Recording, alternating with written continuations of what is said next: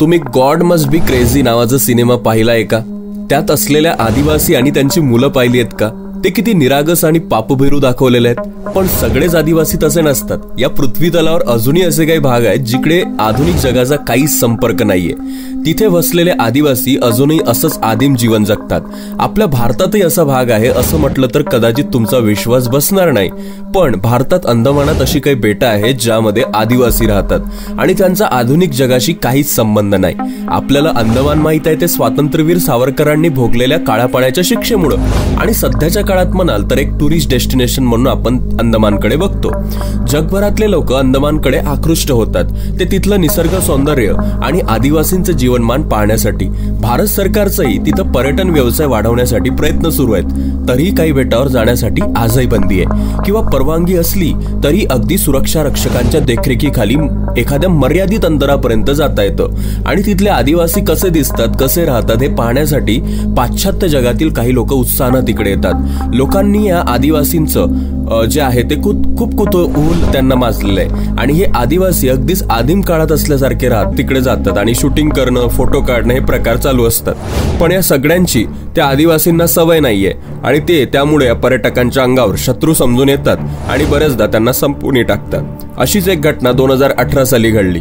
अमेरिकेतून आलेला एक चाऊ नावाचा पर्यटक सँटिनेंटल आदिवासींना तो भेटायला गेला आणि त्यानंतर त्यांनी त्याला मारून टाकलं. खरं तर या बेटावर प्रवेश करणं निश्चित आहे. तरी तिकडे काही माहितीसाठी त्या चाऊला जायचं होतं. तो एक ब्लॉगर होता. त्याला त्याच्या ब्लॉगवर त्या लोकांची सगळी माहिती लिहायची होती.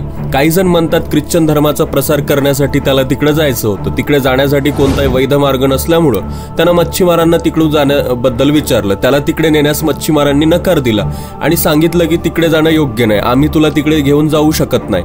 तरी त्याचे पैसे त्याने दिले आणि एका मच्छीमाराला त्यांनी तयार केलं. तो तिकडे गेला.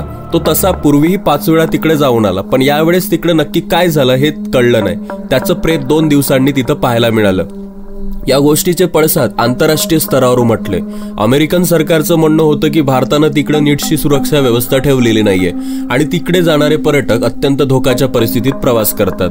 भारतानं यावर प्रतिउत्तर देत म्हटलं की पर्यटकांना सांगूनही ते ऐकत नाहीत पण या घटनेमुळे आंतरराष्ट्रीय स्तरावर भारताची बदनामी झाली. वाढत्या पर्यटनाला त्याचा फटका बसू शकतो. हे ओळखून आणि पुढे अशा घटना घडू नयेत म्हणून भारत सरकारनं ते बेटच अनधिकृत असल्याचं घोषित केलं. म्हणून आता कुठलेही पर्यटक आले आणि त्यांनी तिकडे जायचं धाडस केलंच आणि काही दुर्घटना घडली तर भारत सरकार त्याला जबाबदार असणार नाही. आणि आता तिथली सुरक्षा व्यवस्था अत्यंत कडक करण्यात आली आहे. अंदमानातल्या बेटावर साधारणपणे चार आदिवासी जमाती राहतात. अंदमानी जरावा ओंगी आणि सॅन्टिनेंटल. या संपूर्ण जगापासून अलिप्त आहेत. इंग्रज जेव्हा अंदमानात गेले तेव्हा त्यांनी तिथल्या लोकांशी संपर्क साधण्याचा प्रयत्न केला. काही लोकांना त्यांनी नारळ केळी आणि खाद्यपदार्थ भेटवस्तू देऊन त्यांच्याबद्दल जाणून घेतलं. त्यातल्या अंदमानी जरावा ओंगी या आदिम जाती आता थोड्याफार माणसात आलेल्या आहेत. तिकडे ख्रिश्चन धर्माचा प्रसार ब्रिटिश मंडळींनी केला पण सेंटिनेंटल मात्र अजूनही आत्ताच्या जगाशी संपर्क साधू शकत नाहीत किंवा ते इच्छितच नाहीयेत या विश्वामध्ये येण्यासाठी. हे सेंटिनेंटल आदिवासी जवळजवळ साठ हजार वर्षापासून या बेटावर राहतात. त्यांचं खाणं म्हणजे शिकार मासेमारी डुकराचं मांस कच्चं मांस फळं कंदमुळं हे आहे. अजूनही शेती आंग या गोष्टी त्यांना माहीत नाहीत. भारत सरकारनं त्यांच्याशी संपर्क साधण्याचा प्रयत्न केला. एकोणीसशे सदुसष्टपासून हे प्रयत्न सुरू होते. त्यांचा वंश कोणता आणि मानवशास्त्राच्या दृष्टिकोनातून या लोकांचा अभ्यास करण्यासाठी खूप प्रयत्न केले गेले. पण या लोकांनी त्यांना कोणताही प्रतिसाद दिला नाही. परदेशी लोकांना बीबीसी डिस्कवरी अशा चॅनलवर या आदिवासींवर डॉक्युमेंटरी बनवायची असते. त्यामुळं पण हे परदेशी लोक तिकडे जातात आणि काही माहिती मिळते काही पाहतात. पण सेंटिनेंटल लोक मात्र त्यांना कोणत्याही प्रकारची दाद देत नाहीत. सुनामीनं या बेटाचं खूपच नुकसान झालंय. या सेंटिनेंटल लोकांना त्याचा फटका बसलाय. आता या लोकांची संख्या खूप कमी झाली असं म्हटलं जातं. घंटात जंगलामुळं. अजून एकूण किती तिकडे लोक राहतात हे कळत नाही. दोन हजार अकराच्या जनगणनेच्या नंतर फार फार तर पंधराच लोक शिल्लक आहेत असं म्हटलं जातं. पण खरी परिस्थिती अजूनही माहीत नाही. एकतर या लोकांना कुठल्याही प्रकारचं मेडिकेशन मिळत नाही नाही कोणत्या सोयीसुविधा. आणि जगापासून तुटलेलं असल्यामुळं त्यांची भाषा पण कोणालाच कळत नाही. म्हणजे एकूण काय त्यांना त्या बेटावर फक्त त्यांचंच राज्य हवं आहे. आधुनिक जगाची ढवळाढवळ नको आहे म्हणून काही जणांना वाटतं की जे असे जगत आहेत पण त्यांना जगू द्यावं. ते आपल्याला तर त्रास देत नसतील तर त्यांचा त्यांना आपण का त्रास द्यायचा?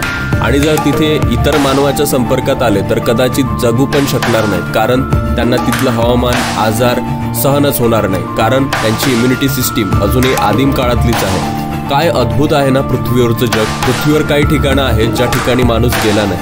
आणि अशी पण जागा आहे की जिथं माणसं आहेत पण मानव जातीची त्यांचा संबंध